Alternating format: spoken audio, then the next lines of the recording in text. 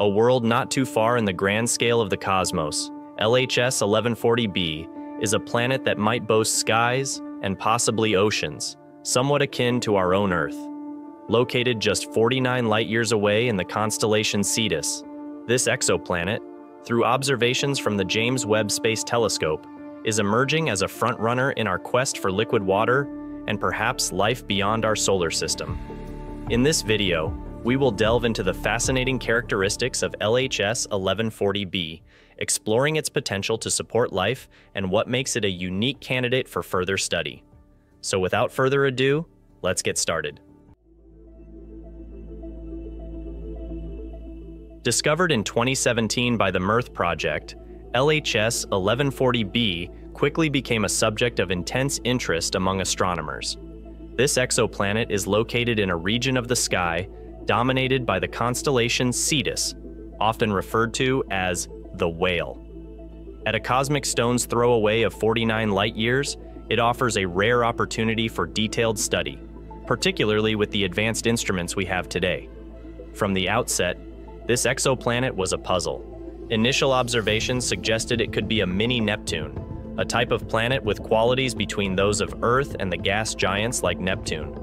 This category of planets, while intriguing, often indicates environments too hostile or volatile for life as we understand it.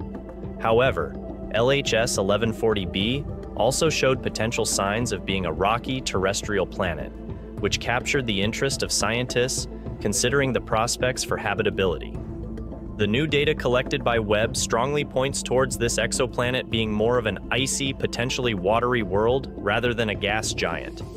This revelation comes from a detailed analysis of the planet's transit across its host star, which allows scientists to examine the backlight from the star filtered through the planet's atmosphere, a technique known as transmission spectroscopy. The habitable zone is the key term here. This is because this exoplanet orbits within this zone around its red dwarf star, a zone where temperatures are just right for liquid water to exist. This positioning is crucial because water is a cornerstone of life as we know it. The planet's size and mass further complicate the picture. Being 1.7 times the size of Earth and about 7 times its mass, it falls into the category of a super-Earth. These planets are particularly exciting because they could have thick atmospheres and potentially support water in various forms, from vapor to liquid to ice. So given its proximity and the clarity with which we can study it, this planet stands out in the cosmic crowd.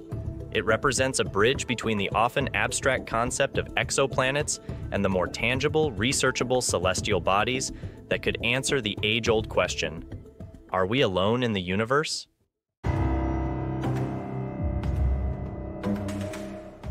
Initial results from Webb suggest that this exoplanet might host a nitrogen-rich atmosphere, similar to Earth's.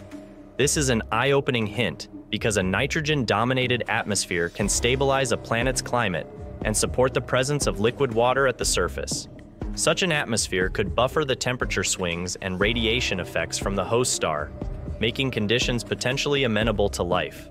However, confirming the presence of nitrogen, oxygen, carbon dioxide, and other vital gases in this planet's atmosphere requires more observation.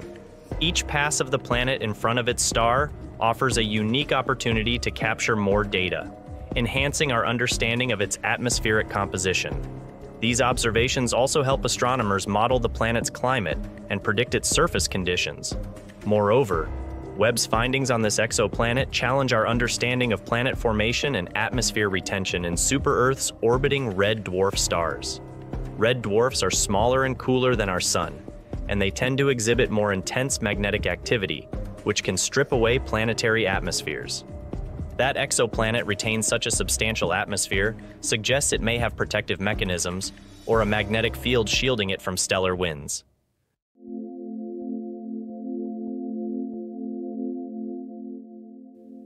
Future observations scheduled with Webb will focus on further characterizing the planet's atmosphere and searching for signs of water and other essential molecules. Each transit of this exoplanet across its star provides precious data that enhances our models and predictions about its atmosphere. Scientists are particularly eager to detect water vapor, carbon dioxide, and other trace gases that could indicate active geological or even biological processes. The path to these discoveries is methodical and requires patience. Webb can only observe the planet's transit a few times a year, meaning that building a complete picture of this exoplanet's atmospheric makeup may take several years. However, each piece of data adds to a growing body of knowledge that could eventually confirm the presence of an ocean, or even life, in another world. Moreover, the study of this exoplanet helps astronomers develop better techniques for examining exoplanets in general. In the grander scheme, this exoplanet could serve as a prototype for future missions aimed at finding Earth-like planets. Missions such as the proposed LUVOIR or HabEx telescopes could take the next steps, potentially directly imaging exoplanets and analyzing their surfaces and atmospheres in even more detail. As we continue to monitor this exoplanet and await new data, the excitement within the scientific community and the public grows. Each finding not only brings us closer to understanding whether we are alone in the universe, but also teaches us more about the diverse types of planets that exist in our galaxy. The search for life in the cosmos goes on, and LHS 1140b is at the forefront of this cosmic quest.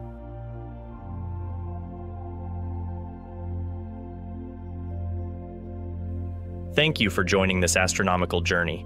Keep your eyes on the stars, and who knows what we'll discover next.